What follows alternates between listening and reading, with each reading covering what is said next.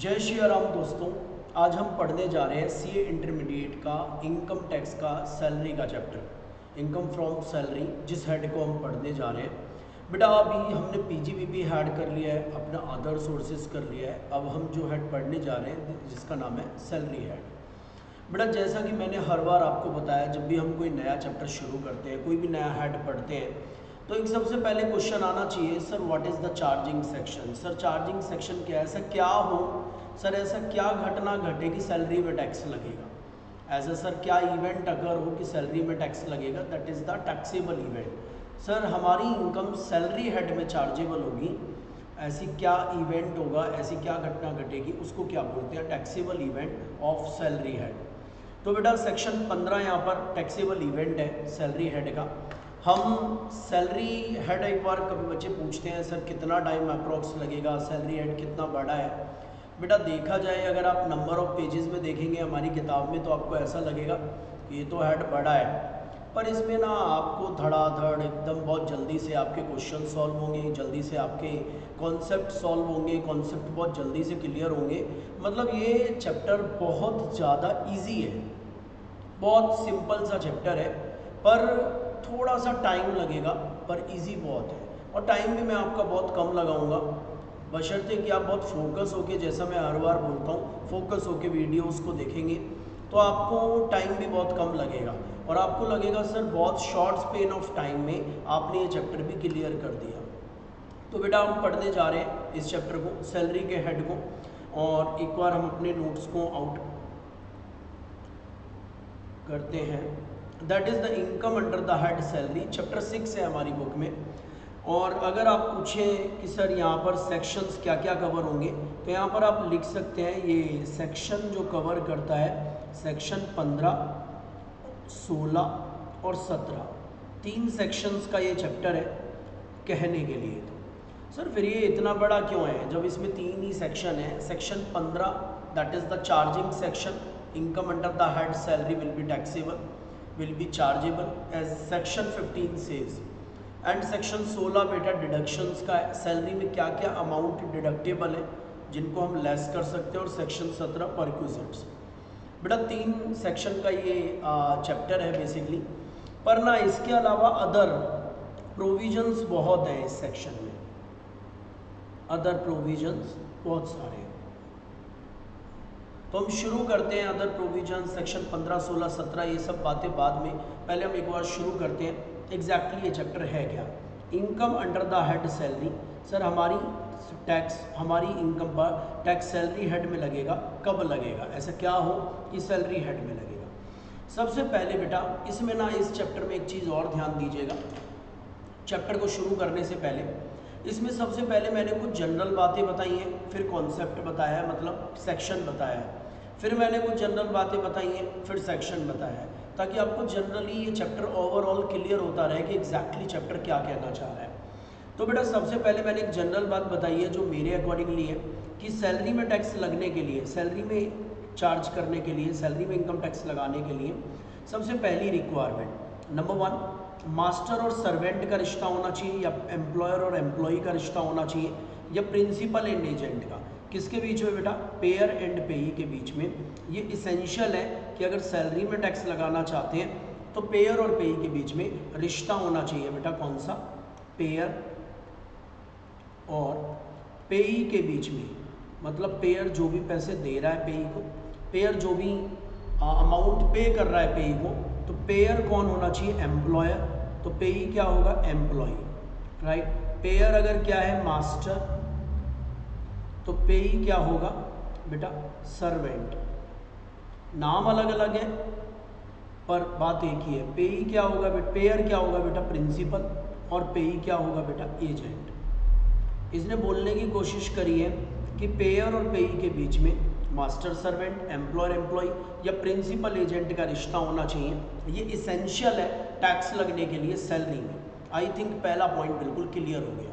इस चैप्टर को ना बहुत हम पॉइंट बहुत क्रिस्प करके, बहुत शॉर्ट करके, बहुत अच्छा करके पढ़ देंगे तो पहला पॉइंट बिल्कुल क्लियर है। जो व्यक्ति पेमेंट कर रहा है, वह तो मास्टर होना चाहिए एम्प्लॉयर होना चाहिए, एक ही बात है, या प्रिंसिपल होना चाहिए। और जिसको पेमेंट हो रही है, वो एम्प्लॉय होना चाहिए एजेंट होना चाहिए, या फिर सर्वेंट होना चाहिए।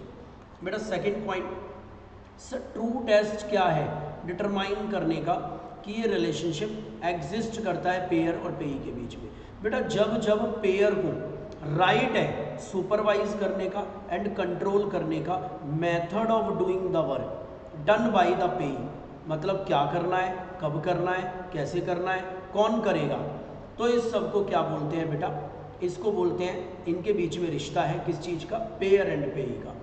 सर, एक बार आप बताएँगे? यस बिल्कुल बताएँगे। बेटा, हम कॉन्सेप्ट को ध्यान से समझेंगे। सेकंड पॉइंट क्या कहना चाह रहा है? सेकंड पॉइंट को ध्यान से। और इससे आपको ये भी पता चलेगा एग्जैक्टली इस रिश्ते को बोलते क्या हैं। मतलब इनकम में टैक्स लगने के लिए क्या होना चाहिए, क्या नहीं होना चाहिए। बेटा, जब पेयर ध्यान से देखना, इस चार्ट से समझ आ जाएगा आपको। जब पेयर अपना वर्क बताए कि भैया मैं आपको पेमेंट करूँगा, पर मेरी वर्क रिक्वायरमेंट ये सब है। अपनी वर्क रिक्वायरमेंट्स बताएँ पेई को बहुत से लोग गलत समझ लेते हैं। वर्क रिक्वायरमेंट्स बताने का मतलब ये नहीं है कि पेई हमारा एम्प्लॉय हो गया, या पेई हमारा सर्वेंट हो गया, या एजेंट हो गया। ऐसा नहीं है।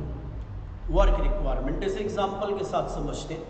मिस्टर एक्स एक शॉप पे गए, उन्हें एक सूट कोट पैंट सिलवाना था, एक ब्लेज़र सिलवाना था, और उन्होंने टेलर को बोला मिस्टर बी की शॉप पे गए, मिस्टर एक्स, मिस्टर वाई की शॉप पे। मिस्टर एक्स, मिस्टर वाई की शॉप पे गए और उन्होंने वाई नाम के टेलर को बोला कि मुझे अपना एक सूट सिलवाना है। मेरा एक ब्लेज़र सिलना है। बेटा ब्लेज़र को स्टिचिंग कराने के लिए उन्होंने बोला कि मुझे ना इसमें पंद्रह पॉकेट्स चाहिए। अब आपको हँसी आ रही होगी, सर, देखिए ये उसका अपना बिज़नेस है कि वो क्यों पंद्रह पॉकेट्स लगवा रहा है। क्यों करा रहा है? आई डोंट नो पर उसने बोला, मुझे पंद्रह पॉकेट्स लगवानी है अपने ब्लेज़र में। क्या आप मेरा ब्लेज़र सील देंगे, स्टिच कर देंगे? तो बंदे ने बोला, सर, मैं इतने पैसे लूँगा और आपके पंद्रह पॉकेट्स लगा दूँगा जहाँ जहाँ आप लगवाना चाहें। क्या वो टेलर नौकर हो गया मिस्टर एक्स का, मिस्टर वाई का? मिस्टर एक्स का नौकर हो गया mister Y? Sir, no. Actually, जब हम किसी को वर्क रिक्वायरमेंट बताते हैं, हमें ये काम कराना है और वो आदमी उसके पैसे बताता है तो इसे बोलते हैं बेटा, कॉन्ट्रैक्ट फॉर सर्विसेज़। क्या बोलते हैं?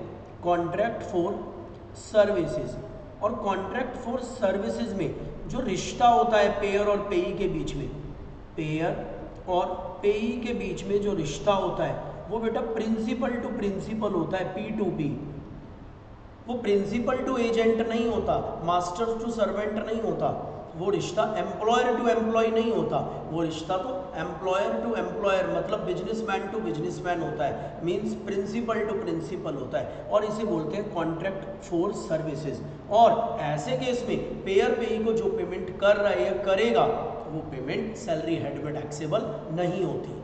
क्योंकि ये कॉन्ट्रैक्ट फॉर सर्विसेज़ है। कॉन्ट्रैक्ट ऑफ़ सर्विस सर कब होता है? अब ये समझने वाली बात है।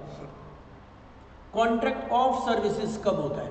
बेटा, दूसरी टर्म होती है कॉन्ट्रैक्ट ऑफ़ सर्विसेज़ बेटा कॉन्ट्रैक्ट ऑफ़ सर्विसेज़ का मतलब ही होता है प्रिंसिपल टू एजेंट या मास्टर टू सर्वेंट या फिर एम्प्लॉयर टू एम्प्लॉय ये रिश्ता होगा। कॉन्ट्रैक्ट ऑफ़ सर्विस में। सर कॉन्ट्रैक्ट ऑफ़ सर्विस क्या होता है? जब हम ये नहीं बता रहे हैं सामने वाले को काम क्या करना है। ये तो बता ही रहे भैया, पंद्रह पॉकेट लगानी है। पर हम उसे समझा रहे हैं, आपने कैसे लगानी है? आपको कैसे स्टिचिंग करनी है? कैसे सिलाई करनी है? इसको कैसे करते हैं? दिन में करना है, रात में करना है? कौन करेगा ये काम? मतलब हम अपने अंडर, हम method of doing the work काम करने के तरीके को method of doing the work काम करने के तरीके को हम कंट्रोल कर रहे हैं एंड सुपरवाइज कर रहे हैं। बेटा, काम को हम सुपरवाइज तब भी कर सकते हैं जब कॉन्ट्रैक्ट फॉर सर्विसेज़ है, पर हम काम करने के तरीके को कंट्रोल कर रहे हैं। काम करने के तरीके को सुपरवाइज कर रहे हैं। मतलब कंट्रोल कर रहे हैं एंड सुपरवाइज कर रहे हैं काम करने के तरीके को। तो इसे बेटा क्या बोलते हैं? कॉन्ट्रैक्ट ऑफ़ सर्विसेज़ और ऐसे केस में रिश्ता क्या होगा? Principal to agent master to servant और एम्प्लॉयर टू एम्प्लॉय तो आपको शायद समझ आया होगा, इसको समरी करते हैं समराइज करते हैं। जब हम, जब एक पेयर पेई के, जब पेयर पेई के वर्क को कंट्रोल करे वर्क को सुपरवाइज करे वर्क को कंट्रोल करे। बेटा वो तो हर पेयर करेगा। आप कोई भी, आप एक मोची की दुकान पर गए, आप अपने जूते को बूट को पॉलिश करवाने के लिए गए तो आप देखोगे पॉलिश कर रहा है, नहीं कर रहा सही से। आप पर उसे थोड़ी ना बताएँगे पॉलिश कैसे करते हैं, हम तुम्हें सिखाते हैं, और ये काम ऐसे किया करो, शांति से बैठ जाओ वैसे करो, वैसे। आप उसे कंट्रोल नहीं कर रहे हैं, आप उसको, आप उसके method of doing the work को कंट्रोल नहीं कर रहे हैं आप उसके वर्क को कंट्रोल कर रहे हैं, जो आपको काम चाहिए। आपका जूता थोड़ा गंदा रह गया तो आप उसको बोलेंगे, भैया, जूता सही से करो, देखो, पूरा हुआ नहीं है। ढंग से काम नहीं हुआ बूट पॉलिश नहीं हुआ प्रॉपर तो बेटा यहाँ पर आप वर्क को कंट्रोल कर रहे हैं। जब जब आप वर्क को कंट्रोल करेंगे, ये तो बेटा हर आदमी, जो आदमी किसी को कोई पैसे देगा, कोई भी इंसान अगर किसी को पैसे देगा काम कराने के तो हर इंसान वर्क को तो कंट्रोल करेगा वर्क को तो सुपरवाइज करेगा। तो इसे क्या बोला जाता है? कॉन्ट्रैक्ट फॉर सर्विसेज़ और बेटा कॉन्ट्रैक्ट फॉर सर्विसेज़ सैलरी में टैक्सेबल नहीं होता। गॉट इट जब हम किसी के वर्क को सुपरवाइज कर रहे हैं और जब पेयर पैसे दे रहा है पेई को वर्क को सुपरवाइज तो कर ही रहा है। वर्क के साथ साथ बेटा method of doing the work को भी सुपरवाइज कर रहा है। मेथड ऑफ़ डूइंग वर्क को भी सुपरवाइज कर रहा है। उसको भी सुपरवाइज कर रहा है या कंट्रोल कर रहा है। तो ऐसे केस में क्या हो जाता है बेटा? कॉन्ट्रैक्ट ऑफ़ सर्विसेज़ क्या हो जाता है? और ये कहाँ पर टैक्सेबल होता है? सैलरी में सैलरी बेटा आई होप बिल्कुल अच्छे से समझ आ गया होगा क्या कहना चाह रहा है। The true test to determine कि ये रिलेशनशिप पेयर और पेई के बीच में है भी या नहीं प्रिंसिपल एजेंट का रिश्ता या मास्टर सर्वेंट का रिश्ता या फिर एम्प्लॉयर एंड एम्प्लॉय का रिश्ता। कब? जब हम काम करने के तरीके को सुपरवाइज करते हैं, क्या करना है, कैसे करना है कब करना है, कौन करेगा, और पेई को ये सारी इंस्ट्रक्शन फॉलो करनी पड़ेगी। पेई नहीं कह सकता, भाई, मैं तेरा नौकर लग रहा हूँ, मैं क्यों फॉलो करूँ तेरी सारी इंस्ट्रक्शन तुझे अपने काम से मतलब होना चाहिए, तेरा काम कर दिया। नहीं, अगर पेई को सारी इंस्ट्रक्शन फॉलो करनी पड़ी तो इसे क्या बोलते हैं? कॉन्ट्रैक्ट ऑफ़ सर्विस और इसे पेयर एंड पेई के बीच में ही बोलते हैं। तीसरा पॉइंट हमारा ऑलरेडी हो गया। क्या? अगर मास्टर के पास ये पावर नहीं है, ये रिलेशनशिप नहीं है एम्प्लॉयर और एम्प्लॉय के बीच में तो बेटा इसे क्या बोलते हैं? Contract for service between payer and payee और ऐसे केस में पेई केवल वो काम पेई को केवल बताया जाएगा, क्या काम करना है? और कोई स्पेसिफिक इंस्ट्रक्शन नहीं दी जाएगी कैसे करना है, ये कब करना है, क्यों करना है। पेई शेल कंप्लीट द वर्क पे ही बस उस काम को कर देगा, अपनी नॉलेज को लगाकर। तो इस केस में इनकम टैक्सेबल होगी, या तो पीजीबीपी में। अगर पेई का बिज़नेस है और पेई का बिज़नेस नहीं है तो अदर सोर्सेज में। बेटा कंक्लूजन क्या बना? कि टैक्स लगाने के लिए सैलरी में, बेटा, रिश्ता होना चाहिए कॉन्ट्रैक्ट ऑफ़ सर्विस का, ना कि कॉन्ट्रैक्ट फॉर सर्विस का। कॉन्ट्रैक्ट फॉर सर्विस नहीं होना चाहिए कॉन्ट्रैक्ट ऑफ़ सर्विस होना चाहिए। हाउएवर कुछ केसेस हैं, कुछ एग्ज़ाम्पल हैं, जहाँ पर income under the head salary he taxable होगी। इवन रिश्ता नहीं है एम्प्लॉयर और एम्प्लॉय का पेयर और पेई के बीच में। बेटा, ये एक्सेप्शन है। आप इसे अंडरलाइन कर लें एक्सेप्शन नॉर्मली मतलब सर क्या कहना चाह रहे हैं आप? बेटा नॉर्मली जब भी मतलब इसे ऐसे बोल सकते हैं, जब भी कॉन्ट्रैक्ट ऑफ़ सर्विस होगा, कहाँ टैक्सेबिलिटी होगी आप लोग बोलिए सैलरी में। और जब जब कॉन्ट्रैक्ट फॉर सर्विस होगा सर कहाँ पे टैक्सेबिलिटी होगी? सर पता चलेगा। अगर सामने वाले का बिज़नेस है ये सब काम करना तो पीजीबीपी में। और बिज़नेस नहीं है तो अदर सोर्सेज में। राइट लेकिन कभी कभी एक्सेप्शन है कॉन्ट्रैक्ट ऑफ़ सर्विस में भी। सैलरी में टैक्सेबल नहीं होगा, कहीं और टैक्सेबल होगा। तो इसका मतलब एक्सेप्शन है। क्या एक्सेप्शन है? पढ़ते हैं। कभी कभी रिश्ता होगा ये वाला, पर फिर भी सैलरी में टैक्स नहीं लगेगा। उल्टा सॉरी सैलरी में टैक्स लग जाएगा इवन एम्प्लॉयर एम्प्लॉय का रिश्ता नहीं है। दोनों केसेस आएँगे। देखिए, हमने यहाँ उल्टा लिख दिया। अगर एम्प्लॉयर एम्प्लॉय का रिश्ता नहीं है एम्प्लॉयर और एम्प्लॉय का रिश्ता नहीं है तो तो बेटा सैलरी में भी टैक्स नहीं लग सकता था, नहीं लग सकता था। मतलब मास्टर सर्वेंट का रिश्ता नहीं है एम्प्लॉयर एम्प्लॉय का रिश्ता नहीं है, या प्रिंसिपल एजेंट का नहीं है तो सैलरी में टैक्स नहीं लगेगा, लेकिन लग जाएगा कभी कभी ये एक्सेप्शन है। एक्सेप्शन पढ़ते हैं, किसके केस में लग जाएगा बेटा? पढ़ते हैं, किस केस में लग जाएगा? कह रहे हैं जजेस ऑफ़ हाई कोर्ट और सुप्रीम कोर्ट का कोई एम्प्लॉयर नहीं होता ये सीधे कॉन्स्टिट्यूशन ऑफ़ इंडिया में अपॉइंट होते हैं, पर इनकी सैलरी टैक्सेबल होती है, फिर भी सैलरी हेड में। ये justice Deoki Nandan Agarwala versus UI के केस में सुप्रीम कोर्ट का डिसीज़न है। मतलब सुप्रीम कोर्ट का जज और हाई कोर्ट का जज बेटा, किसी का नौकर नहीं होता। ये इन, ये इनका कोई एम्प्लॉयर नहीं है, इनका कोई प्रिंसिपल नहीं है। पर फिर भी इनकी सैलरी बेटा कहाँ पे टैक्सेबल होगी? सैलरी हेड में। अगला पॉइंट ये भी बेटा अलग से एक्सेप्शन टाइप नहीं है। इंपॉर्टेंट पॉइंट कि सैलरी रिसीव हुई है अगर किसको? मेंबर ऑफ़ पार्लियामेंट को। किसको रिसीव हुई है? तो ये टैक्सेबल नहीं होगी under the head salary rather it shall be taxable under the head income from other sources वैसे एम पब्लिक के नौकर होते हैं। एम जनता के सेवक होते हैं। पर एमपी को जो सैलरी मिल रही है, वो बेटा टैक्सेबल नहीं होगी। कहाँ पर टैक्सेबल नहीं होगी? सैलरी हेड में। ये भी एक तरीके से एक एक्सेप्शन है। कि एम को अगर कोई सैलरी मिल भी रही है तो सैलरी में नहीं अदर सोर्सेज में टैक्सेबल होगी। सर इसका लॉजिक क्या है? कि एम को जो सैलरी मिल रही है, बेटा, इसका कोई लॉजिक नहीं है। लॉ ही एम ने बनाया, यहाँ पे बोल दिया एमपी को जो सैलरी मिल रही है सैलरी में टैक्सेबल नहीं है अदर सोर्सेज में। और आपको याद हो अदर सोर्सेज में बोल दिया एग्जाम्ट है। मतलब एक तरीके से अपनी इनकम को एग्जाम्ट कर गए ना एम मिनिस्टर से देखो सैलरी और अलाउंस अगर चीफ मिनिस्टर को मिल रहे हैं स्टेट की चीफ मिनिस्टर को तो कौन से हेड में टैक्सेबल होते हैं? सैलरी इनकम में और ये टैक्स नहीं लगता इन पर। इनकम ये लालू प्रसाद यादव जी बनवा गए ये कानून पटना हाई कोर्ट में। ये हाई कोर्ट का केस है बेटा कि अगर चीफ मिनिस्टर को कोई सैलरी अलाउंस मिल रहे हैं तो वो सैलरी हेड में टैक्सेबल होंगे। इस पर टैक्स नहीं लगेगा अदर सोर्सेज में। तो इनके कोई लॉजिक नहीं है। ये जस्ट पॉलिटिकल स्टंट है। पॉलिटिशियंस ने ही केस कर लिया। पटना हाई कोर्ट ने आंसर दे दिया कि भैया ठीक है चीफ मिनिस्टर की सैलरी यहाँ पर टैक्सेबल हो सेक्शन पंद्रह बेटा बेसिक ऑफ़ चार्ज अब आ गया चार्जिंग सेक्शन जैसा कि मैंने चैप्टर की स्टार्टिंग में आपको बताया था, बहुत इंपॉर्टेंट बात बताई थी चैप्टर की स्टार्टिंग में, कि बेटा मैं पहले आपको जनरल कॉन्सेप्ट बताऊँगा, फिर सेक्शन पढ़ाऊँगा, फिर जनरल कॉन्सेप्ट बताऊँगा, फिर सेक्शन पढ़ाऊँगा, और ऑटोमेटिकली आपको आधी से ज़्यादा चीज़ें बहुत अच्छे से समझ आ चुकी होंगी. आई होप मैं यहाँ तक का रिवीजन करा दूँ, आपको समझ आ गया होगा, मैं रिवीजन भी करा दूँ. सर हम हेड पढ़ रहे हैं income under the head salary salary में टैक्स लगने के लिए टैक्सेबल इवेंट पढ़ना है, पर अभी हमने नहीं पढ़ा। पहले हमने जनरल कॉन्सेप्ट पढ़ा। सैलरी में टैक्स लगने के लिए पेयर और पेई के बीच में रिश्ता होना चाहिए एम्प्लॉयर एम्प्लॉय मास्टर सर्वेंट या प्रिंसिपल एजेंट का। अगर ये रिश्ता नहीं है तो बेटा सैलरी में टैक्स नहीं लगेगा। पर कभी कभी ये रिश्ता ना होने के बाद भी सैलरी में टैक्स लग जाता है, जैसे हाईकोर्ट और सुप्रीम कोर्ट के जजेस इनका हेड सैलरी हेड में टैक्स लग जाता है। और कभी कभी ये रिश्ता होने के बाद भी सैलरी में टैक्स नहीं लगता, जैसे मेंबर ऑफ़ पार्लियामेंट को अगर सैलरी मिल भी रही है तो सैलरी में टैक्स नहीं लगेगा अदर सोर्सेज में। ये जस्ट केस स्टडीज़ है। पर चीफ मिनिस्टर को अगर सैलरी मिल रही है तो सैलरी में टैक्स लग जाएगा अदर सोर्सेज में नहीं लगेगा। बेटा, को मतलब इससे पता चला सर पेयर पेई के बीच में माना कब जाता है कि ये रिश्ता है?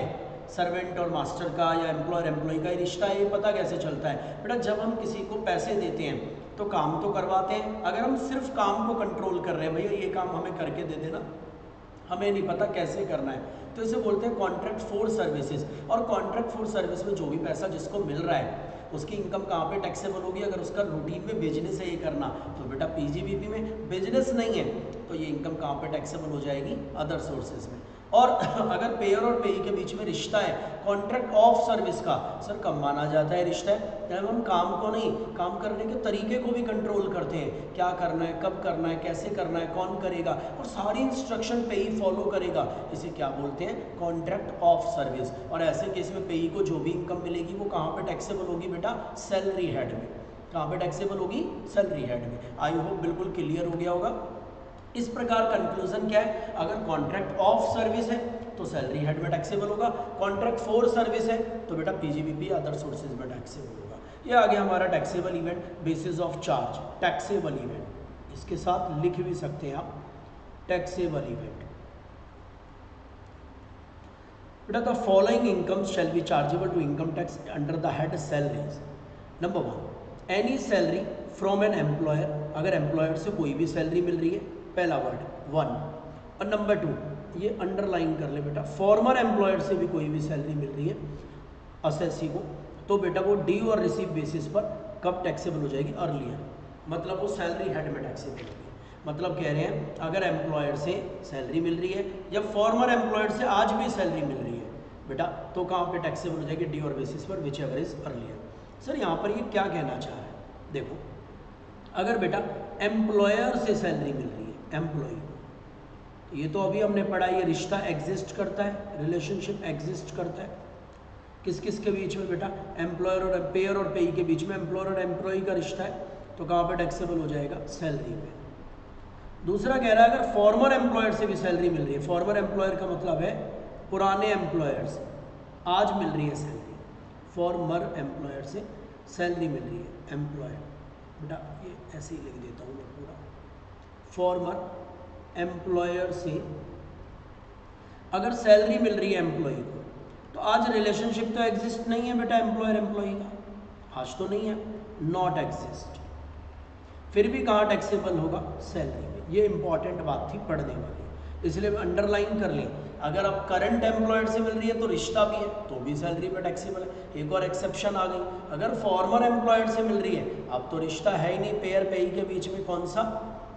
एम्प्लॉयर एम्प्लॉय का तो भी कहाँ पे टैक्सेबल है बेटा? सैलरी हेड में। पर कैसे टैक्सेबल है? ड्यू और receive whichever is earlier due और receive whichever is earlier whichever is earlier और ये हमने वैसे पहली क्लास में भी पढ़ लिया था, इसका मीनिंग क्या है?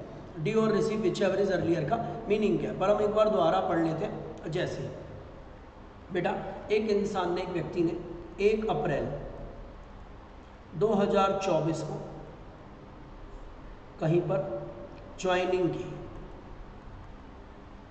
जॉब ज्वाइन करी। उसके बॉस ने बोला, हम आपको हर महीने की सैलरी नेक्स्ट मंथ की। नेक्स्ट मंथ के सेवन्थ को देंगे। मतलब अप्रैल की सैलरी वो कब देंगे? बेटा सेवन्थ मई को ड्यू हो जाएगी। देंगे या नहीं देंगे? मतलब सामने वाला कब मांग सकता है ये salary seven month seventh of next month तो बेटा मई की सैलरी कम मिलेगी? इस प्रकार मई 2024 की सैलरी कब मान सकता है सामने वाला? सात जून। ऐसे करते करते बेटा, अप्रैल, मई, जून की सैलरी बेटा कब मिलेगी फिर? मतलब कब मांग सकता है? सेवन्थ जुलाई। ऐसे करते करते बेटा, मार्च की, मार्च 2025 की सैलरी कब डी होगी बेटा? सर, वो होगी सेवन्थ अप्रैल 2025 को। बेटा, ये कौन सा ईयर है पूरा? ये है सर 2024-25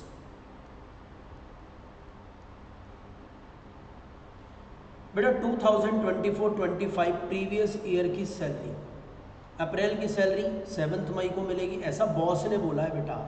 इनकम टैक्स ने नहीं बॉस ने एग्रीमेंट किया है अपने एम्प्लॉय के साथ कि मैं तुम्हें अप्रैल की सैलरी सेवन्थ मई को दूँगा, मई की सैलरी सेवन्थ जून को दूँगा, जून की सेवन्थ जुलाई को दूँगा। ऐसे करते करते सो ऑन मार्च की सैलरी सेवन्थ अप्रैल 2000 तो बेटा इस ईयर 24-25 में कौन सी सैलरी पर टैक्स लगेगा? सर, सिंपल सा आंसर है 2024-25 में जो टैक्स लगेगा, जो इनकम चार्जेबल होगी 24-25 में, वो होगी अप्रैल से लेकर फेबररी की सैलरी। अप्रैल 2024 से लेकर फेबररी 2025 की सैलरी क्योंकि ये सारी सैलरी बेटा ड्यू हो गई है।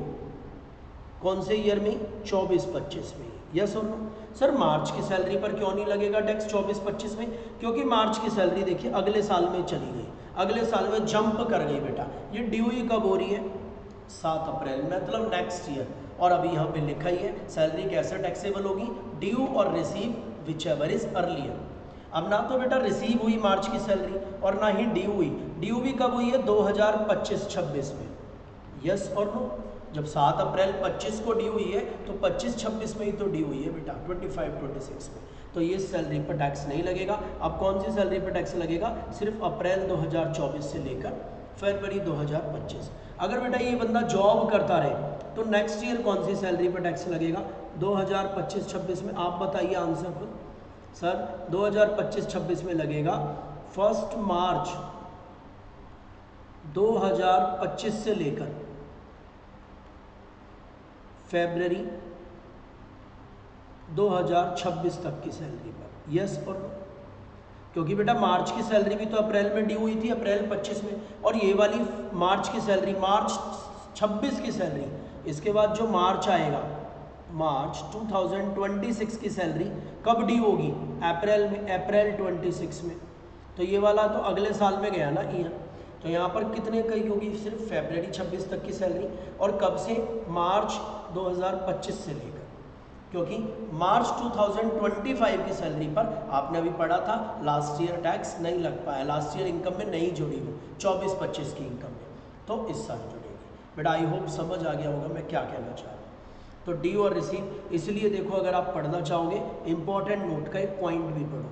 आपको समझ आएगा third point salary is considered for month of April to March की सैलरी जनरली ली जाती है, पर कभी कभी मार्च टू फेबररी की ली जाती है। क्योंकि मार्च की सैलरी अगर ड्यू अगले महीने होगी अप्रैल में मार्च की सैलरी अगर अगले महीने अप्रैल में ड्यू होगी तो इस साल कवर हो गई ना हमारे इस साल में। मार्च की सैलरी से टैक्स लगेगा और कहाँ तक? फेबररी और डिपेंडिंग करता है बेटा ये कब ड्यू और कब पेबल हो रही है। गवर्नमेंट एम्प्लॉय के केस में तो month of March to February he consider किया जाता है, क्योंकि गवर्नमेंट में सैलरी अगले महीने की सात तारीख को ही ड्यू होती है। बेटा क्लियर हो रहा है? गवर्नमेंट में सैलरी अगले महीने की सेवन्थ को ही होती है तो ये डी और receive which ever is earlier मान लिया जाएगा। बेटा ये पॉइंट समझ आ गया ना अच्छे से आपको? क्या कहना चाह रहे हैं? जी सर, ये वैसे हमने पहले भी पढ़ा दिया था आपको। चलिए क्वेश्चन करके भी दिखा दीजिए, मुझे थोड़ी तसल्ली हो जाएगी। आपको समझ आ गया। बेटा, अप्रैल में ज्वाइन किया किसी ने? अप्रैल 2027 में। ज्वाइन किया। और बॉस ने बोला सैलरी ड्यू होगी। वैसे प्रैक्टिकल पॉसिबल नहीं है, पर मान लेते salary will be due in, on 8th of next to next month. Sir इसका मीनिंग मीनिंग बता देता हूँ।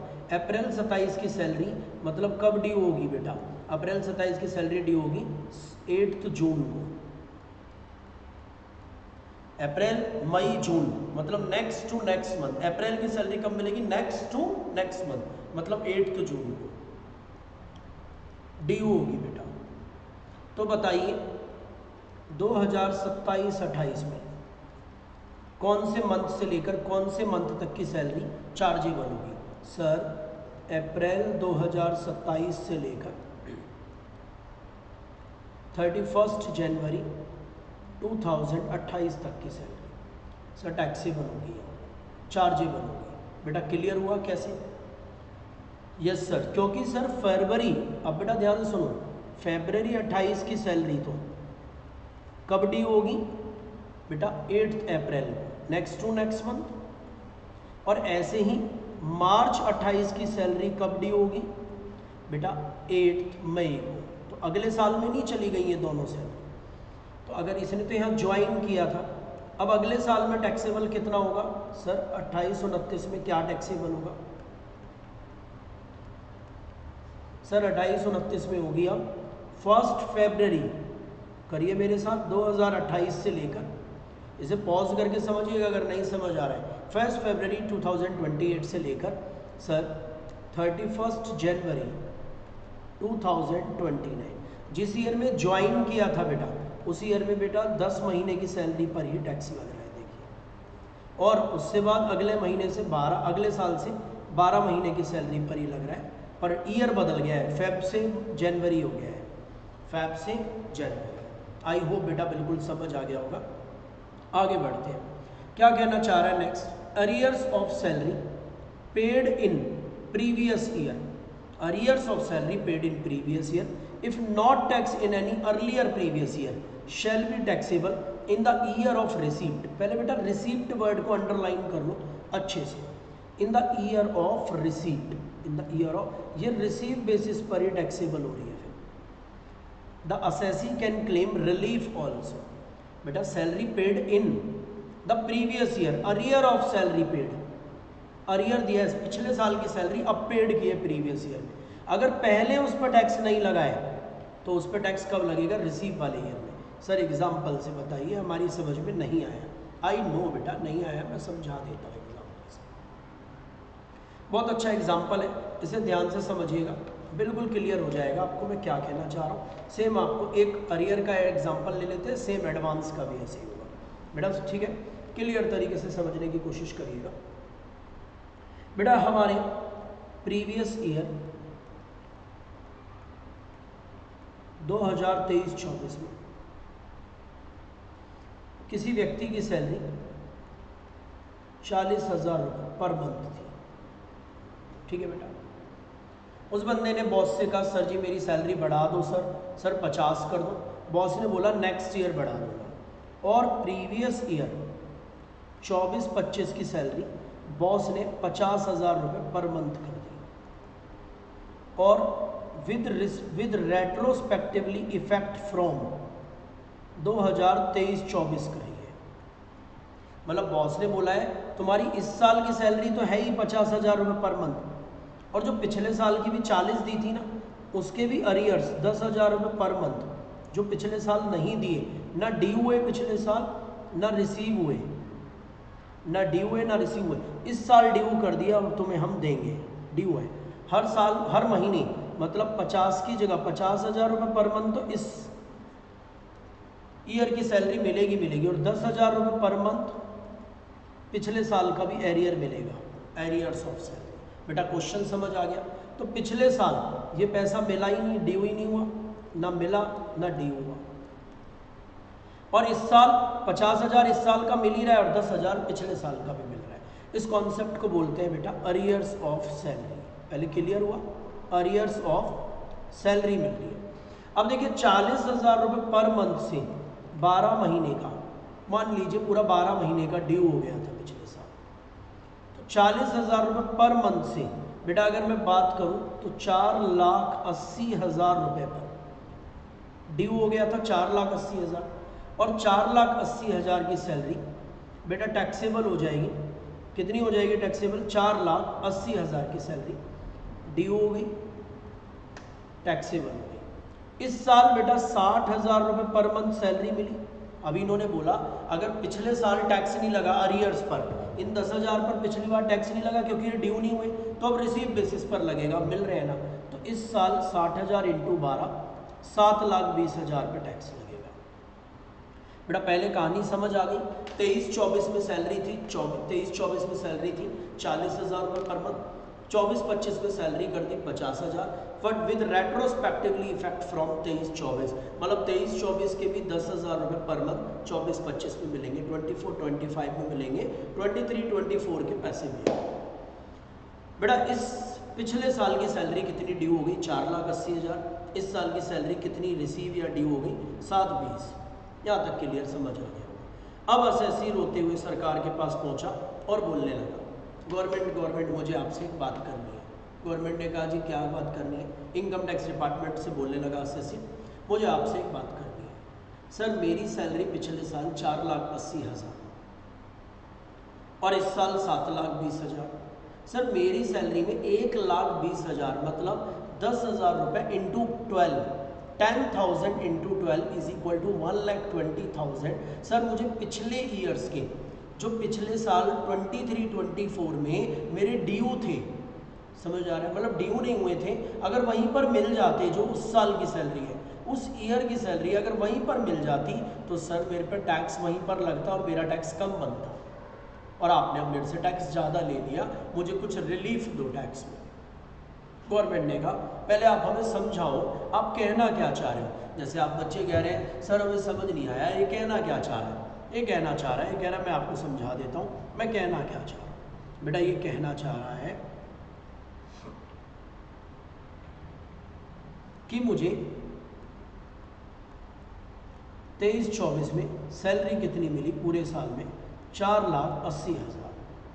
और मान के चलिए, इसका स्लैब रेट, ये तो मानना पड़ेगा, ढाई लाख वाला स्लैब रेट है। तो ये कह रहा है, ज़ीरो से ढाई लाख मेरे इनकम टैक्स हुई निल 2.5 से लेकर चार लाख अस्सी हज़ार। मतलब कितना बना बेटा? दो लाख तीस हज़ार। पे पाँच परसेंट कितना हो गया?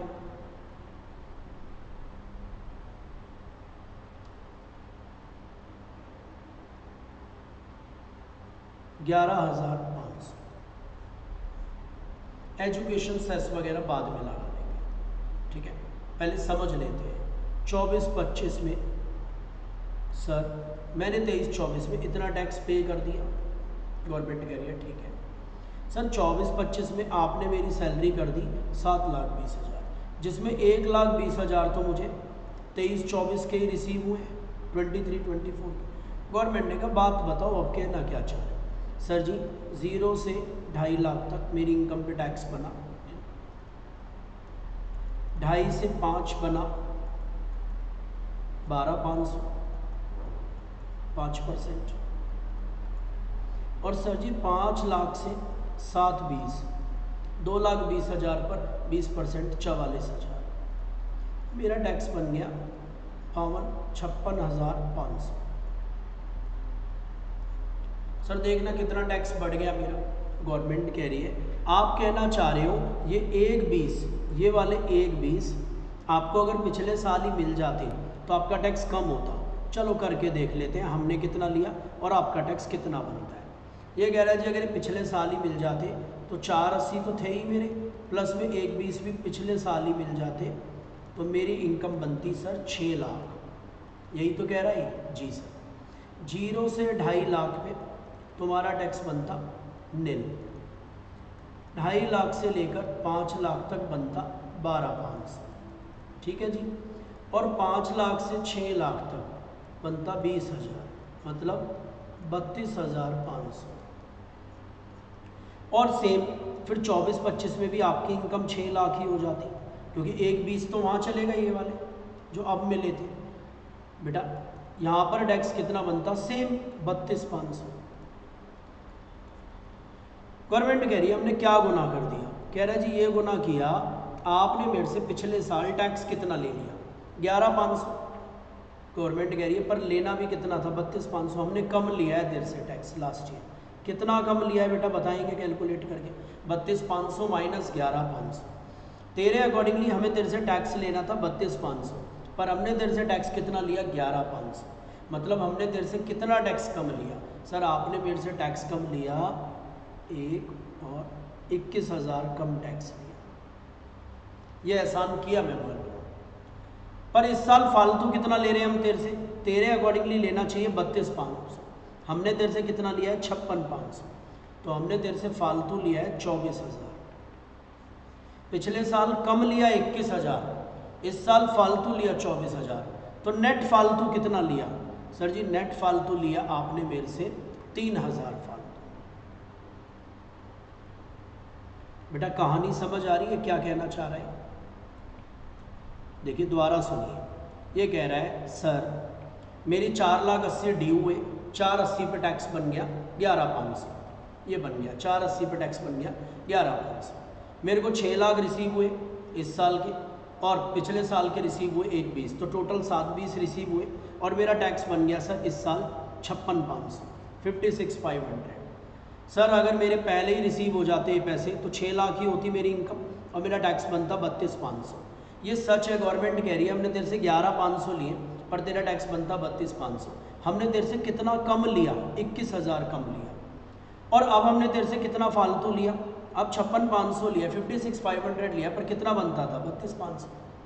तो हमने चौबीस हज़ार फालतू लिया, इक्कीस हज़ार कम भी तो लिया। पिछले साल तुझे इक्कीस हज़ार की छूट दे दी। चल, इस साल हमने इस स्लैब व्लैब में चौबीस फालतू ले लिया। तो एक तरीके से तीन हज़ार ही तो फालतू लिया। हम तीन हज़ार की तुझे रिलीफ दे देते हैं। तेरा टोटल टैक्स कितना बना है इस साल? सर, मेरा टैक्स बना है छप्पन पाँच सौ फिफ्टी सिक्स फाइव हंड्रेड हमने कहा रिलीफ देते हैं हम तुझे। अंडर सेक्शन एटी नाइन कितने का? तीन हज़ार का। और तुम हमें कितने दे दो? तिरपन हज़ार रिलीफ निकलेगा कैसे अब? स्टेप समझ आई बेटा? स्टेप वन गवर्नमेंट कह रही है एटी नाइन का रिलीफ निकालने का स्टेप वन आप लोग बनाएँगे स्टेप वन क्या बना? स्टेप वन बना लेते हैं। बेटा, सबसे पहले, बेटा, जिस ईयर में तुझे रिसीव हुआ है मतलब 2024-25 में पैसा रिसीव हुआ है, हमें बता इंक्लूसिव कितना रिसीव हुआ है पिछले साल का भी मिलाकर। इंक्लूसिव कितना है? सर इंक्लूसिव है सात बीस राइट सात बीस पर जो इनकम है टैक्स कितना बना तेरा? सर, टैक्स बना सात बीस पर मेरा। अभी बनाया था हमने छप्पन पाँच ठीक है जी? बेटा एक्सक्लूसिव तेरे अकॉर्डिंगली अगर ये हटा दें हम एक बीस तो कितनी इनकम बनती तेरी? छः लाख। टैक्स कितना बनता? Sir thirty two five hundred हमने कितना फालतू ले लिया? चौबीस हज़ार। ये बनी step one sir step two इससे पिछले प्रीवियस ईयर में मतलब तेईस चौबीस में ट्वेंटी थ्री ट्वेंटी फोर में। इनक्लूसिव तेरा कितना ले लिया हम इनक्लूसिव हमने कितना टैक्स लेना चाहिए था? सर छः लाख पे लेना चाहिए। कितना? बत्तीस, पाँच सौ। हमने एक्सक्लूसिव लिया था, ये इनकम जोड़ी नहीं थी। चार अस्सी पे टैक्स लिया था तेरे से। कितना लिया था? चार अस्सी पे। सर जी, आपने लिया था ग्यारह, पाँच सौ। हमने कितना कम टैक्स लिया तेरे से? इक्कीस हज़ार। ये हो गई स्टेप बेटा step three step one minus step two is equal to step three मतलब चौबीस हज़ार माइनस इक्कीस हज़ार। कितने का रिलीफ दे दो सर तीन हज़ार का। बेटा ध्यान से पढ़िए। सर एक बार दिखा दीजिए ना यस देख लो बेटा। कोई दिक्कत नहीं है। पूरा समझ आया ये क्या कह रहा है? इस ईयर में इंक्लूसिव बता दो। इस ईयर में एक्सक्लूसिव बता दो। पिछले साल में इंक्लूसिव बता दो एक्सक्लूसिव बता दो। ये वो टैक्स है जो हमने तुमसे ज़्यादा लिया है। ये वो टैक्स है जो पिछले ईयर्स में कम लिया है। और इन दोनों का गैप क्या है? इन दोनों का गैप है जो हम तुम्हें फ़ायदा दे रहे हैं। नेट हमने तीन हज़ार ही तो ज़्यादा लिया है। ये हम तुम्हें रिलीफ दे देते हैं। क्या दे देते हैं? रिलीफ अंडर सेक्शन 89 क्लियर हुआ बेटा? जी सर अब आप पढ़ा दीजिए बेटा। इस चैप्टर के बिल्कुल पढ़ते हैं पहले। अरियर्स ऑफ़ सैलरी अगर पेड हुई है प्रीवियस ईयर में, अभी हमें मतलब प्रीवियस ईयर का मतलब यहाँ लिख लो हमारे एग्ज़ाम्पल में प्रीवियस ईयर कितना था बेटा? चौबीस, पच्चीस में रिसीव हुई है। किसमें? चौबीस। If not taxed in any earlier previous year मतलब तेईस, चौबीस में टैक्स नहीं लग पाया। तो अब टैक्सेबल हो जाएँगे रिसिप्ट वाले ईयर में। कौन से ईयर में? रिसिप्ट वाले ईयर में। किस बेस पर? बेटा रिसीव वाले बेस पर। और असेसी को रिलीफ पे मिल जाएगा। ऐसे बेटा एडवांस का है। देखो salary advance salary taxable in the previous year in which it is receive अब उल्टा हो गया बेटा 24-25 की सैलरी एडवांस ले ली अगले ने 23-24 में। उल्टा फालतू सैलरी ले लिया, फिर वही स्लैब रेट का डिफरेंस आएगा, यहाँ पर भी रिलीफ मिल जाएगा 89 का। मतलब नेक्स्ट ईयर की सैलरी इस साल ले ली। नेक्स्ट ईयर मिलने हैं चार अस्सी, इस साल भी मिलने थे चार अस्सी, पर नेक्स्ट ईयर के पैसे अभी ले लिए। बेटा कुछ टेन थाउज़ेंड पर मंथ तो इस साल छः लाख मिल गए और नेक्स्ट ईयर कम हो गए। तो जो कम हो गए, उसका रेट टैक्स कम लगा होगा, अब ज़्यादा लग गया तो रिलीफ मिल जाएगा। तो बेटा ध्यान से, पढ़ते हैं। हमने रिलीफ का भी सेक्शन लिखा हुआ है, पढ़ते हैं रिलीफ का सेक्शन ध्यान से, ये रहा। बिल्कुल लास्ट पेज पे। पॉइंट नंबर सिक्स ध्यान से पढ़िएगा। कंप्यूटेशन ऑफ़ टैक्स रिलीफ बिल्कुल एंड में है बेटा पेज नंबर 209 पर 209 पर पेज नंबर 209 पर ये लिखा हुआ है relief tax relief computation of tax relief when salary has been received in arrears अब पिछले सालों की सैलरी अब रिसीव हो रही है, या एडवांस रिसीव हो गई, अगले साल की सैलरी अब एडवांस में रिसीव हो गई. तो step one calculate the tax payable of previous year मतलब 24-25 का। इन विच अरियर या एडवांस रिसीव हुआ है टोटल इनकम इंक्लूसिव मतलब सात बीस। टोटल इनकम एक्सक्लूसिव मतलब छः लाख। दोनों पे टैक्स निकाल लो टैक्स का डिफरेंस ले लो, वो आया था हमारा चौबीस हज़ार। हमारा एग्ज़ाम्पल भी साथ साथ लिख लेना। Step two tax payable on every पिछले सालों, तेईस, चौबीस में जिनमें एडिशनल सैलरी रिलेट कर रही है। टोटल इनकम इनक्लूसिव छः लाख थी। एक्सक्लूसिव चार अस्सी थी। बेटा डिफरेंस कितना आ रहा था? इक्कीस हज़ार। स्टेप थ्री चौबीस और इक्कीस का डिफरेंस कितना हो गया? तीन हज़ार। Sir example salary for mister Ram for previous year ये उन्नीस बीस लिख रहा है ऐसे ठीक कर लो। तेईस, चौबीस। वॉज़ चालीस हज़ार रुपये पर मंथ ऑन एक चार, दो हज़ार चौबीस कर लो इसे।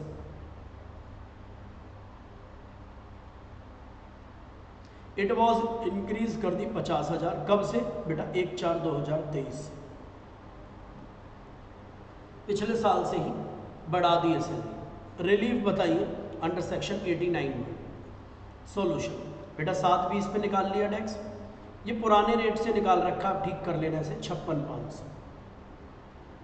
छः लाख पे निकल गया। कितना? बत्तीस पाँच सौ। डिफरेंस चौबीस हज़ार ही बेटा ये छः लाख पे आ गया, बत्तीस पाँच सौ। चार अस्सी पे आ गया, ग्यारह पाँच सौ। ये आ गया इक्कीस हज़ार। रिलीफ मिल गया तीन हज़ार। आया समझ बेटा? ठीक कर लेना रिलीफ कितना मिल गया? तीन हज़ार का। आई होप बिल्कुल समझ आ गया होगा। क्या कहना चाह रहा है? क्लियर हुआ? रिलीफ के बारे में क्या कह रहे हैं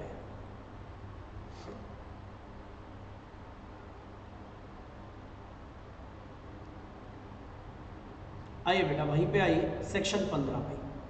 सेक्शन पंद्रह section fifteen important notes salary advance बेटा, पहला note salary advance does not include the loan advance by the employer to the employee sir means क्या कहना चाह रहे?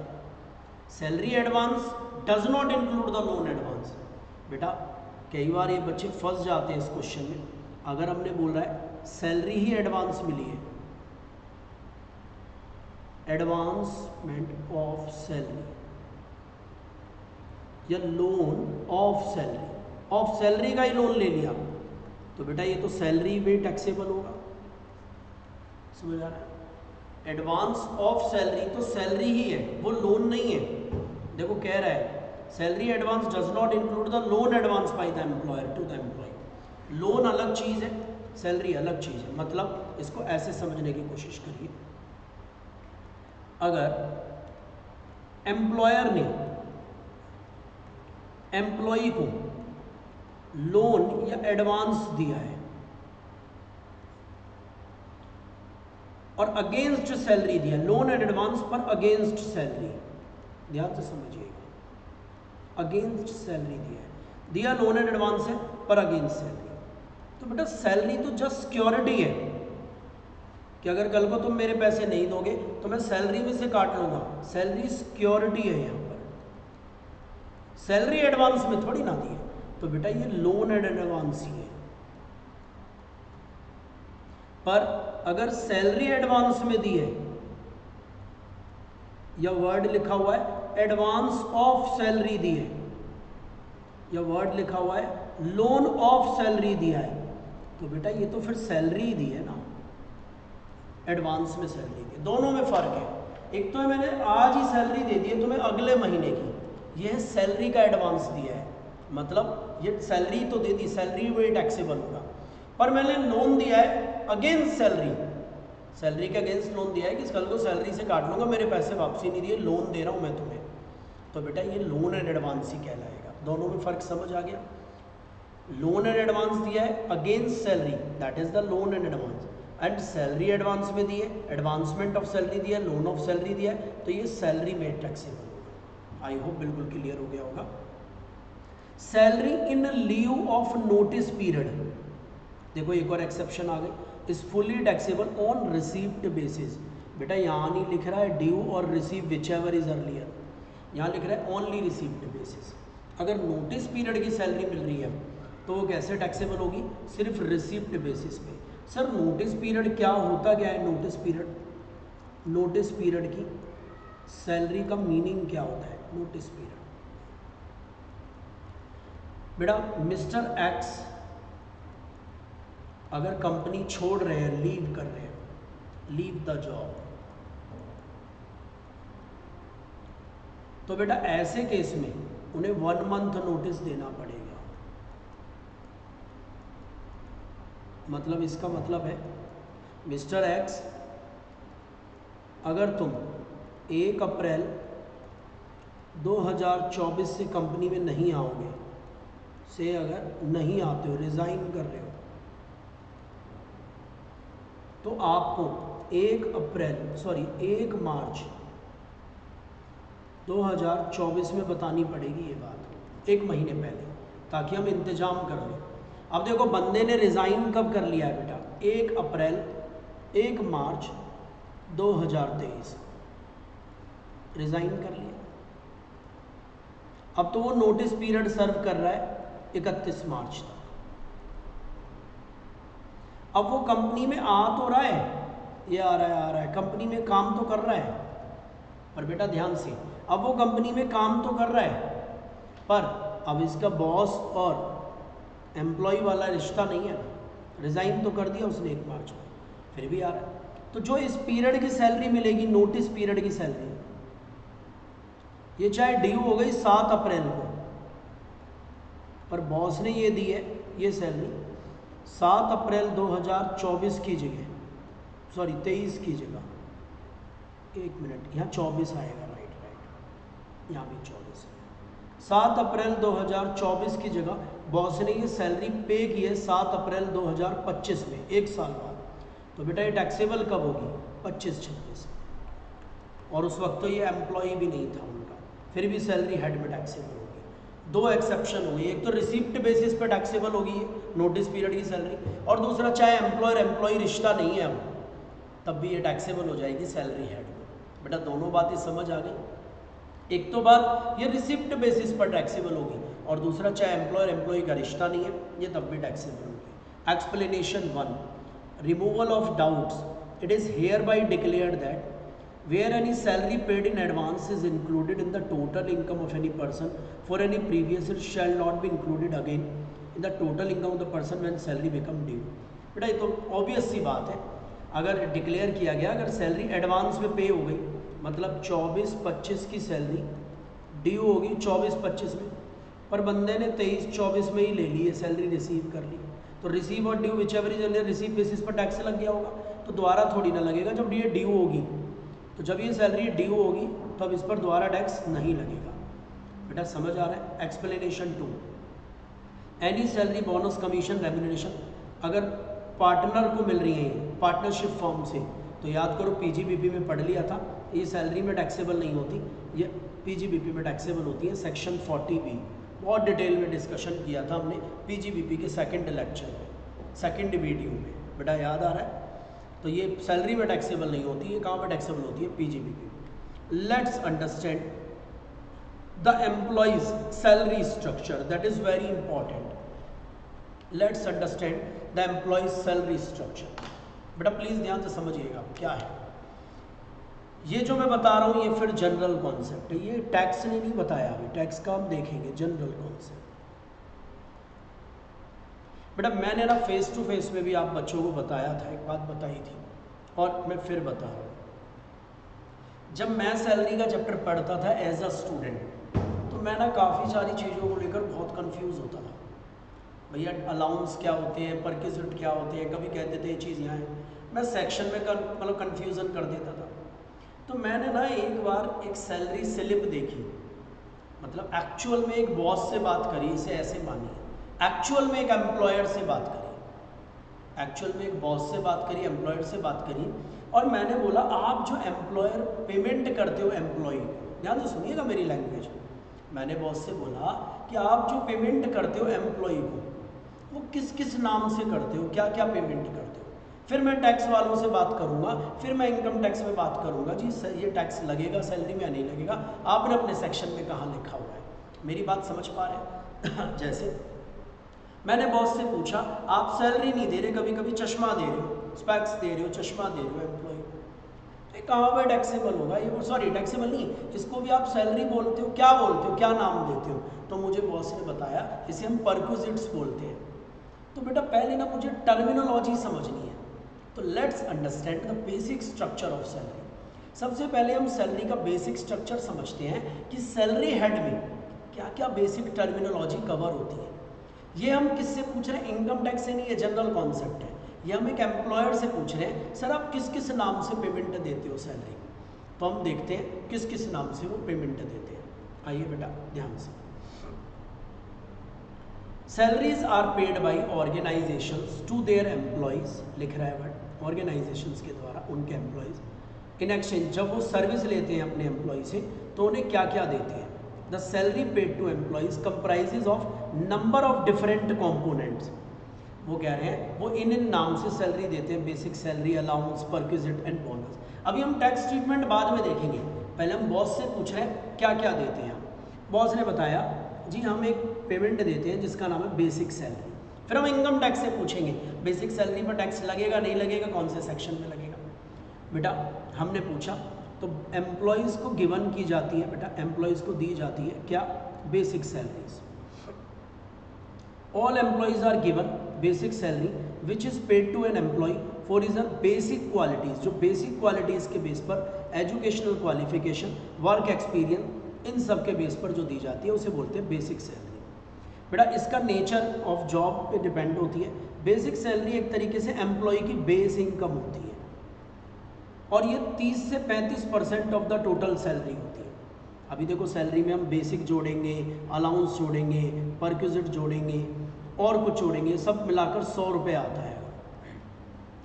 ये सब मिलाकर बेसिक अलाउंस समझ रहे हैं? ये सब मिलाकर अगर सौ रुपये आता है, मैं दोबारा लिखता हूँ। बेसिक अलाउंस और परक्यूजिट ये सब मिलाकर सौ रुपये आ रहा है फॉर एग्ज़ाम्पल तो बेसिक तकरीबन कितनी होगी बेटा?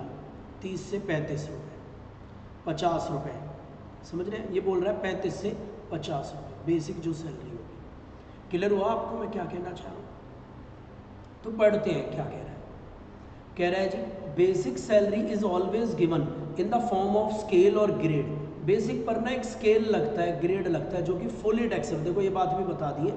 ये मैंने जन अभी तो हमें सेक्शन में भी देखनी है, कहाँ लिख रही है। पर ये फुली टैक्सेबल है। Under the graded system annual increment fix कर दिया जाता है एडवांस में ग्रेड में, और हर साल के कंप्लीट होने पर डेट ऑफ़ ज्वाइनिंग से बढ़ा दिया जाता है। फॉर एग्ज़ाम्पल मिस्टर राम ने एक आठ उन्नीस को फ़र्स्ट अगस्त 2019 में किस ग्रेड पे ज्वाइन किया था? बीस हज़ार। दो हज़ार तीस हज़ार पच्चीस सौ पैंतालीस। पहले इस पॉइंट को ध्यान से देखिए, फिर मैं समझाता हूँ क्या कह रहे हैं। आगे मत पढ़िए। मिस्टर राम ने ज्वाइन किया था एक आठ उन्नीस को बीस दो तीस पच्चीस सौ पैंतालीस के ग्रेड में मतलब बीस हज़ार की सैलरी रहेगी। कितने की सैलरी रहेगी मिस्टर राम की? एक आठ उन्नीस को बीस हज़ार की सैलरी राइट और ये सैलरी हर साल दो हज़ार बढ़ेगी। हर ईयर मतलब एक आठ उन्नीस को कितनी सैलरी है? बीस हज़ार। One eight two thousand twenty में कितनी होगी? बाईस हज़ार। One eight two thousand twenty one में कितनी होगी? बेटा, चौबीस हज़ार। One eight two thousand twenty two में कितनी होगी? ट्वेंटी सिक्स थाउज़ेंड हर साल दो दो हज़ार बढ़ती जा रही है। कब तक दो दो हज़ार बढ़ती रही? किस दिन रुकेगी? जिस दिन ये तीस हो जाएगी। और जब तीस हो जाएगी तो उसके बाद हर साल कितनी सैलरी बढ़ेगी? पच्चीस सौ। कब तक? जब ये पैंतालीस हो जाएगी और फिर इसी पे चलती रहेगी। एग्ज़ाम्पल को डिटेल में समझने की कोशिश करते हैं। बेटा, हमारे एग्ज़ाम्पल में, आप बुक में खोल के भी रख सकते हैं इस एग्ज़ाम्पल को। मिस्टर एक्स ने ज्वाइन किया है एक आठ उन्नीस। कितने की सैलरी पर? बीस हज़ार की सैलरी बेटा, एक आठ बीस से इनकी सैलरी कितनी हो जाएगी? बाईस। एक आठ इक्कीस से इनकी सैलरी कितनी हो जाएगी? चौबीस। एक आठ बाईस से इनकी सैलरी कितनी हो जाएगी? छब्बीस। एक आठ तेईस से इनकी सैलरी कितनी हो जाएगी? अट्ठाईस। एक आठ चौबीस से सैलरी कितनी हो जाएगी? तीस हज़ार। एक आठ पच्चीस से सैलरी कितनी हो जाएगी? बत्तीस पाँच सौ। याद होगा, ग्रेड देखो बदल गया। तीस हज़ार के बाद पच्चीस सौ पे ग्रेड आ गया। अब मैं यहीं तक का बताता हूँ, आपको समझ आ जाएगा। बाकी तो आप कर लेंगे। एक आठ उन्नीस मतलब अगस्त, सितंबर, अक्टूबर, नवंबर, दिसंबर, जनवरी फेबररी मार्च। यही सैलरी तो टैक्सेबल होगी one two three four five six seven eight मैं यहाँ पर अज्यूम कर रहा हूँ कि सैलरी सेम मंथ में ड्यू हो जाती है। कभी आपका सर मार्च की सैलरी अगर अप्रैल में ड्यू हुई तो ये तो सैलरी आठ महीने की सैलरी पर टैक्स लगेगा मतलब बीस हज़ार इंटू आठ। कितना हो गया? एक लाख साठ हज़ार। बेटा, ये वाला हमें ध्यान से पढ़ना पड़ेगा। यहाँ पर तो नौकरी ज्वाइन ही एक आठ उन्नीस को की थी। अब बेटा, अप्रैल में सैलरी कितनी चल रही होगी? इस ईयर में। ये ईयर चल रहा है एक आठ, ये ईयर कौन सा था? उन्नीस बीस। यहाँ पर लिख देते नाइनटीन ट्वेंटी। ये कौन सा है? Twenty twenty one. और ट्वेंटी तो कब से शुरू हो गया होगा? अप्रैल बीस अप्रैल 20 में सैलरी कितनी थी? बीस हज़ार ही थी। यस मई में भी सैलरी कितनी थी? बीस हज़ार। जून में भी सैलरी कितनी थी? बीस हज़ार। जुलाई में सैलरी कितनी थी? बीस हज़ार। देखो, अगस्त में सैलरी कितनी हो गई? बाईस हज़ार। सेप्टेम्बर में बाईस हज़ार। मतलब सिंपल सी भाषा में बीस हज़ार इंटू चार और बाईस हज़ार इंटू आठ। ये सैलरी टैक्सेबल होगी। बीस इक्कीस में बेटा। आया, समझ नहीं आया? अब सो ऑन आप अगले साल की सबकी निकाल लेंगे सर। बेटा क्लियर हुआ ये? ये grade system it means salary बीस हज़ार रुपये पर मंथ है फ़र्स्ट ईयर ऑफ़ जॉब में। एक आठ उन्नीस से लेकर इकतीस सात बीस तक। सैलरी कितनी चलेगी? बीस हज़ार।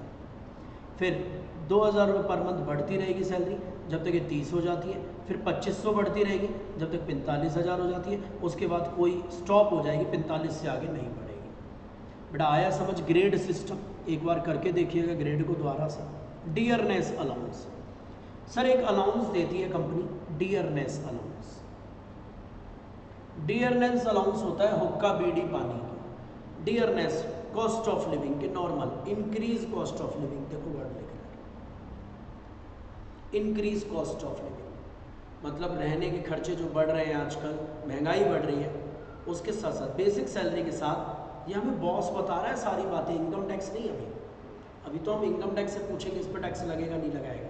पर यहाँ पर बॉस ही बता रहा है, इस पर लग जाता है टैक्स बेटा एम्प्लॉय को बेसिक सैलरी के साथ साथ एक एडिशनल अमाउंट दिया जाता है, जिसे डियरनेस अलाउंस किया जाता है, जो इंक्रीज कॉस्ट ऑफ़ लिविंग होती है कस्टमर प्राइस इंडेक्स से लिंक होती है, जो हर हाफ़ ईयरली रिवाइज होता रहता है, महँगाई के हिसाब से। डी एम्प्लॉय को पे किया जाता है certain percentage of basic salary and is always fully taxable like basic salary sir normally हमें ये बताइए ना, पहले आप अलाउंस और परकिजिट में क्या फ़र्क है? बेटा, कई बार बता चुका हूँ ये दोबारा आएगा तो बता दूँगा। अभी आएगा नीचे। अगला आता है बोनस बोनस बेटा, ये स्टैचूटरी पेमेंट है। स्टैचूटरी पेमेंट मतलब एक कानून है बोनस एक्ट बोनस एक्ट के अकॉर्डिंगली कभी कभी एम्प्लॉयर के द्वारा एम्प्लॉय को बोनस देना बहुत ज़रूरी है। एम्प्लॉय मेहनत करते हैं प्रोडक्टिविटी बढ़ा रहे हैं कंपनी की, और बहुत अच्छा काम किया। तो बॉस के अकॉर्डिंगली कभी कभी एम्प्लॉय को तो बोनस बेटा फुली टैक्सेबल होता है। ये भी बता दी ऑन रिसिप्ट बेसिस फिर देखो रिसिप्ट आ गया। बेटा ध्यान रखना एक्सेप्शंस बोनस ड्यू और receive which ever is earlier पर टैक्सेबल नहीं होता। बोनस कैसे टैक्सेबल होता है? रिसिप्ट बेसिस और आपको याद होगा पीजीबीपी में बोनस बेटा डिडक्टेबल होता है पीजीबीपी में सेक्शन 36 में पेड बेसिस 43 बी के अकॉर्डिंगली राइट अच्छा सर अगर बोनस का कानून कहें, एक कानून लग रहा है अभी, जैसे मैंने आपको बताया बोनस एक्ट लग रहा है। और बोनस एक्ट कह रहा है बॉस को एम्प्लॉयर को, कि तुम्हें एम्प्लॉय को बोनस देना पड़ेगा। तो बोनस भी सैलरी है, और इस पर टैक्स लग जाएगा। लेकिन बॉस बोनस एक्ट नहीं कह रहा, फिर भी अपनी मर्ज़ी से बॉस बोनस दे रहा है एम्प्लॉय इसे बोलते हैं बेटा एक्स ग्रेशिया पेमेंट क्या बोलते हैं? एक्स ग्रेशिया पेमेंट ये भी बोनस ही होता है और ये भी टैक्सेबल होता है। बेटा आया, समझ नहीं आया? अगर कानून कह रहा है, हम इसलिए बोनस दे रहे हैं तो इसे बोनस ही कहते हैं टैक्सेबल है। अगर कानून नहीं कह रहा बोनस का कानून, फिर भी बॉस बोनस दे रहा है तो इसे बोलते हैं एक्स ग्रेशिया पेमेंट और ये भी टैक्सेबल होता है बेटा बोनस की तरह। सर, ये एक बार नज़र करा देंगे हम इसे। हाँ एक बार नज़र कराते लिख रहे थे।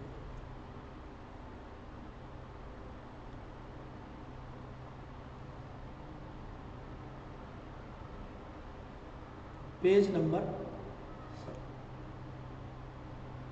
एक मैं पेज नंबर निकाल देता हूँ आपके लिए। यह है बेटा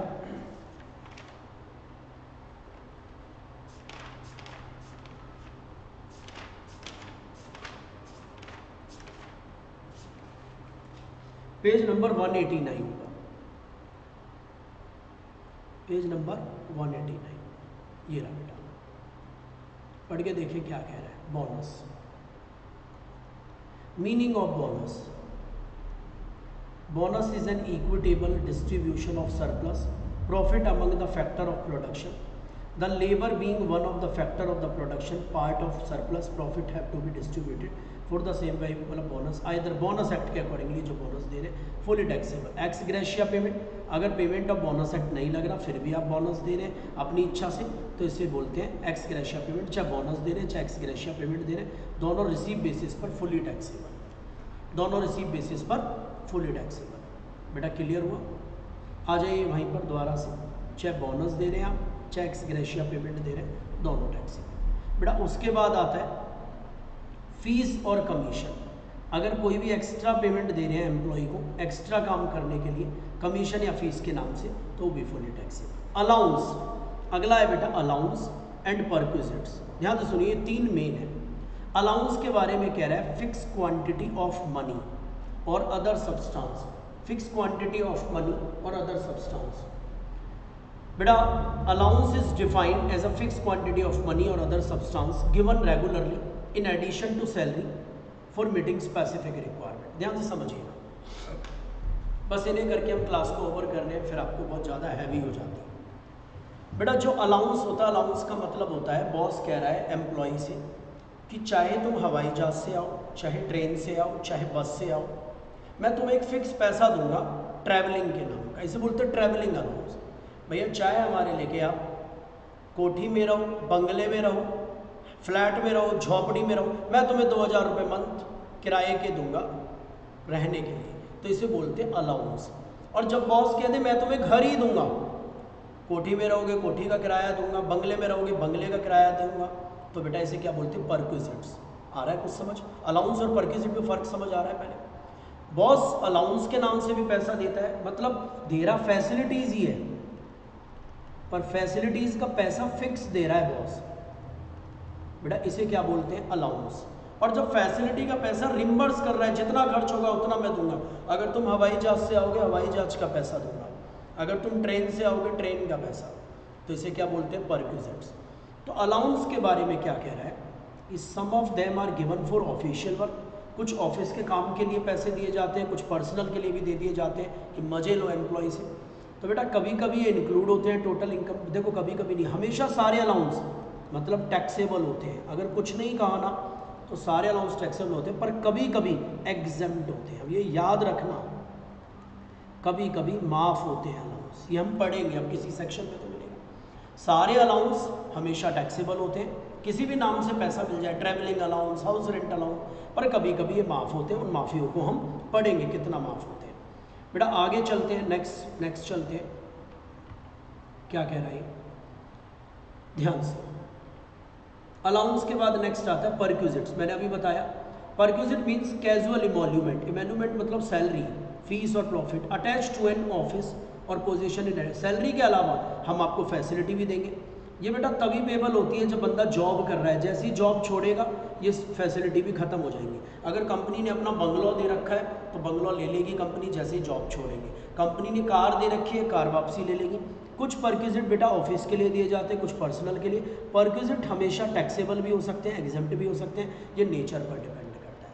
अलाउंस हमेशा टैक्सेबल होते हैं कभी कभी माफ़ होते हैं, पर परक्विजिट कुछ टैक्सेबल होते हैं, कुछ माफ़ होते हैं इन डिटेल में डिस्कस करेंगे। लास्ट में बेटा रिटायरमेंट बेनिफिट ये बॉस ने बताई हमें सारी बात कि जब एम्प्लॉय रिटायर होता है या डेथ होती है एम्प्लॉय को नॉर्मली कुछ पैसे मिलते हैं रिटायरमेंट के नाम पर ग्रेचुटी के नाम से पेंशन के नाम से प्रोविडेंट फंड तो इन सबको सैलरी हेड में ऐड करते हैं या प्रॉफिट एंड ऑफ़ सैलरी में ले जाते हैं. और इनमें से कुछ आइटम एग्जाम्प्ट होते हैं टैक्स से और कुछों पे टैक्स लग जाता है. पूरा का पूरा कुछ पूरे माफ़ हो जाते हैं, कुछ अधूरे माफ़ हो जाते हैं. इन सारे सातों आइटम को जोड़ देंगे. जो सात आइटम अभी ऊपर पड़े, क्या क्या? बेसिक सैलरी प्लस क्या पड़ा? Dearness allowance plus bonus plus fees plus taxable allowance plus taxable perquisite और प्लस टैक्सेबल रिटायरमेंट बेनिफिट तो क्या आ जाएगी बेटा? ग्रॉस सैलरी और from the gross salary we will give the deduction of section 16 gross salary में से section 16 की डिडक्शन जाती है तो क्या आ जाती है? Income under the head salary जिसे हम टैक्सेबल सैलरी भी कहते हैं, और ये इनकम फ्रॉम सैलरी होती है. आई होप बेटा बातें समझ आ गई अभी हम डिडक्शन नेक्स्ट क्लास में पढ़ेंगे, पर फ़िलहाल अभी यहाँ तक का आपने पढ़, पढ़ना है अच्छे से। ये हमने बॉस की बातें पढ़ी यहाँ से। बॉस की चीज़ें उठाई क्या क्या कह रहे हैं। बेटा, तकरीबन 70 मिनट्स का ये वीडियो है। आप इस पर फोकस करिएगा अच्छे से। हमने यहाँ पर सैलरी का मीनिंग पढ़ा है सैलरी की टैक्सेबिलिटी पढ़ी है। क्योंकि अब अगले लेक्चर थोड़े बड़े बड़े होंगे। अगले दो लेक्चर्स में अब हम सैलरी अपना ओवर कर देंगे। ताकि हमें क्लियर हो जाए कि सैलरी में क्या क्या पढ़ा ये बेसिक था जो हमने किया है। इंट्रोडक्शन लेक्चर था और आई होप कि आप इसे अच्छे से अब करेंगे।